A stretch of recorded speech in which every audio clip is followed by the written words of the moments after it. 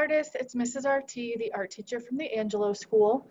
For today's project, you're going to need a piece of paper, a pencil, and then whatever you have to color with. I'm going to outline with a black marker, but you could use a black crayon as well.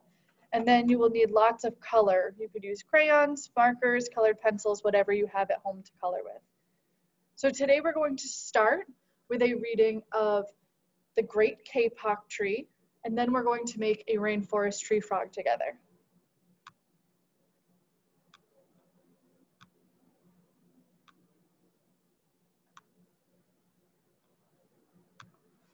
The Great Kapok Tree, written by Lynne Cherry.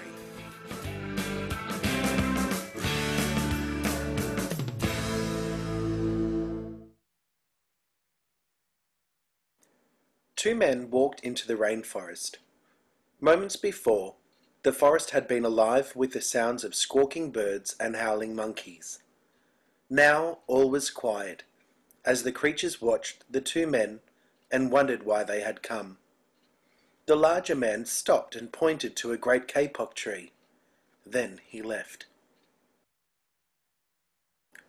The smaller man took the axe he carried and struck the trunk of the tree. Whack! Whack! Whack! The sounds of the blows rang through the forest. The wood of the tree was very hard. Chop! Chop! Chop! The man wiped off the sweat that ran down his face and neck. Whack! Chop! Whack! Chop! Soon the man grew tired. He sat down to rest at the foot of the great kapok tree. Before he knew it, the heat and hum of the forest had lulled him to sleep. A boa constrictor lived in the kapok tree. He slithered down its trunk to where the man was sleeping. He looked at the gash the axe had made in the tree. Then the huge snake slid very close to the man and hissed in his ear. Senor, this tree is a tree of miracles. It is my home, where generations of my ancestors have lived. Not chop it down. A bee buzzed in the sleeping man's ear. Senor, my hive is in this kapok tree, and I fly from tree to tree and flower to flower collecting pollen. In this way, I pollinate the trees and flowers throughout the rainforest. You see, all living things depend on one another. A troop of monkeys scampered down from the canopy of the kapok tree. They chatted to the sleeping man. Senor, we have seen the ways of man. You chop down one tree, then come back for another and another. The roots of these great trees will wither and die, and there will be nothing left to hold the earth in place. When the heavy rains come, the soil will be washed away, and the forest will become a desert. A toucan, a macaw, and a cock of the rock flew down from the canopy. Senor, squawked the toucan, you must not cut down this tree. We have flown over the rainforest and seen what happens once you begin to chop down the trees. Many people settle on the land. They set fires to clear the underbrush, and soon the forest disappears. Where once there was life and beauty, only black and smouldering ruins remain. A bright and small tree frog crawled along the edge of a leaf. In a squeaky voice he piped in the man's ear. Senor, a ruined rainforest means ruined lives, many ruined lives. You will leave many of us homeless if you chop down this great kapok tree. A jaguar had been sleeping along a branch in the middle of the tree. Because his spotted coat blended into the dappled light and shadows of the understory, no one had noticed him. Now he leapt down and padded silently over to the sleeping man. He growled in his ear, Senor, the kapok tree is home to many birds and animals. If you cut it down, where will I find my dinner? Four tree porcupines swung down from branch to branch and whispered to the man, Senor, do you know what we animals and humans need in order to live? oxygen. And, senor, do you know what trees produce? Oxygen. If you cut down the forests, you will destroy that which gives us all life. Several ant-eaters climbed down the kapok tree with their young clinging to their backs. The unstriped ant-eater said to the sleeping man, Senor, you are chopping down this tree with no thought for the future, and surely you know that what happens tomorrow depends upon what you do today. The big man tells you to chop down a beautiful tree. He does not think of his own children, who tomorrow must live in a world without trees. A three-toed sloth had begun climbing down from the canopy when the men first appeared. Only now did she reach the ground.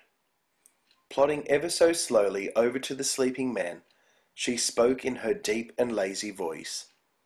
Senor, how much is beauty worth? Can you live without it? If you destroy the beauty of the rainforest, on what would you feast your eyes? A child from the Yanomamo tribe, who lived in the rainforest, knelt over the sleeping man. He murmured in his ear, Senor, when you awake, please look upon us all with new eyes. The man awoke with a start. Before him stood the rainforest child, and all around him, staring, were the creatures who depended upon the great kapok tree. What wondrous and rare animals they were! The man looked about and saw the sun streaming through the canopy. Spots of bright light glowed like jewels amidst the dark green forest. Strange and beautiful plants seemed to dangle in the air, suspended from the great kapok tree. The man smelled the fragrant perfume of their flowers. He felt the steamy mist rising from the forest floor, but he heard no sound for the creatures were strangely silent. The man stood and picked up his axe. He swung back his arm as though to strike the tree. Suddenly he stopped. He turned and looked at the animals and the child. He hesitated. Then he dropped the axe and walked out of the rainforest. Dear readers, I wrote The Great Kapok Tree to let the world know what happens to the rainforest creatures and to the entire planet when rainforests are destroyed. I hope that after reading this book, you will help save the rainforests. The Great Kapok Tree is about the Amazon rainforest, a tropical rainforest. But we have a temperate rainforest in the Pacific Northwest of the United States that we must protect too.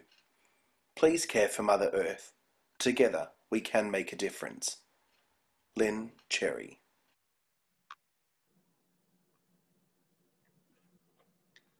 So that was a reading of The Great Kapok Tree. I'm going to show you on the map the rainforest that that book was talking about is in South America. It's the Amazon rainforest right there. And today we're going to draw one of the many creatures that live in the rainforest. We are going to draw one of the frogs. So you can see on this page that all of these frogs are different colors. And in the Amazon rainforest, there are over 400 species of different frogs. So the color on the frogs could be any type of color you want. If you would like to research different frogs, you could pick the color of one that is real that you can see, or you can make up your own colors with your crayons. So if you need to grab your materials, now would be a good time to pause the video and grab your paper, pencil, and something to color with and you can play it when you're ready. For this frog, you can see I have three different color examples. We're going to start with the eyes. So we have two big circles for the eyes.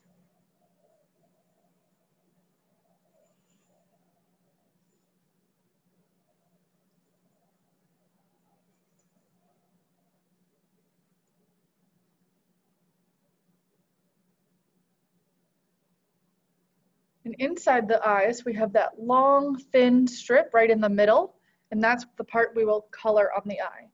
So in the middle, you can make two lines coming down.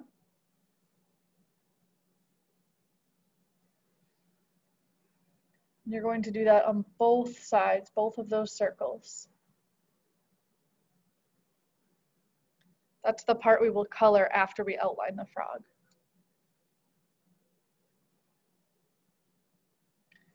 And at the top of the eye, we're going to make a small line coming down on both sides. That will be the eyelid for the frog. And then a line in the middle to connect it for the top of the head.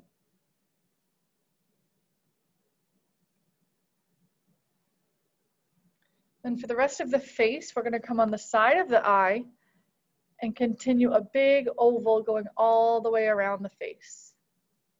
So you can start up here on the side of the eye, on the outside. Make a big oval for the face. You can see I added some spots on the top of the head in between the eyes and on the top of the hands to give it a little bit more color and detail. Some of the frogs in the book that we saw had a lot of different markings on them.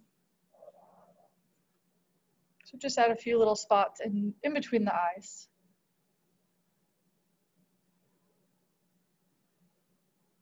Then we have a big frog mouth going all the way across the page. So I start on one side, bring it over. I usually drop dip it down a little bit in the middle, and then back up.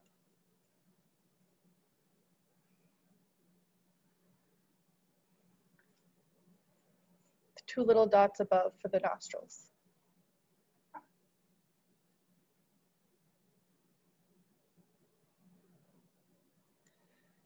Then for the hands, a lot of these you can see that they're holding leaves in the book, you could see that the frogs were both on leaves and on branches. So you can choose for that part if you want it to be a leaf or a branch when you're coloring it in. But to start with the hands, we do a shape, kind of like a rainbow shape or an upside down letter U. One on each side.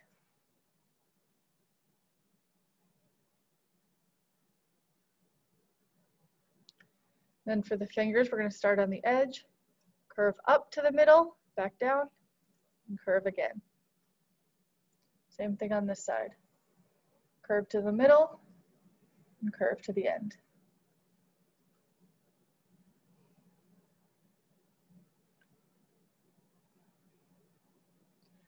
And then at the point of the fingers, we do, or point of the hands, we'll do a little circle. That's what would help them stick to the trees or the leaves.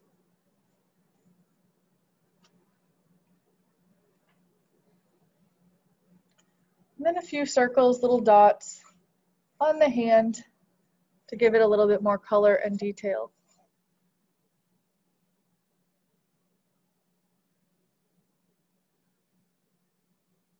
You can see the frog is holding onto this leaf so we're going to do one line that goes across behind the hands, like the hands are coming up and holding it. And then when we color it, you can decide, is that a leaf? Is it a branch? You can decide when you start to color. And then for the body of the frog, we're just gonna drop down two lines from the face to the hands.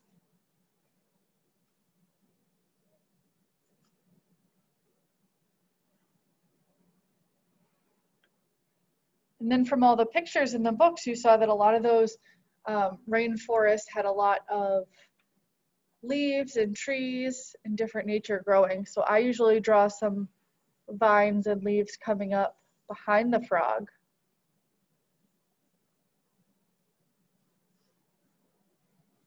We saw so many different animals and species that lived in the rainforest and the whole book was about protecting the rainforest and the natural world.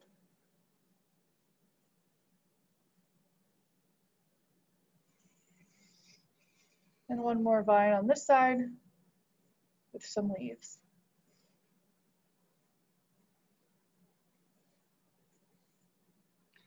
And now you can get creative and color it. I liked to make mine bright. I have a couple different examples that you can see of different types of colorful frogs. And there are over 400 species in the Amazon rainforest alone. So you could make yours into many different colors. So that was our lesson about the great kapok tree and the rainforest frog. You can take some time color in your frog. Stay creative. I'll see you next time.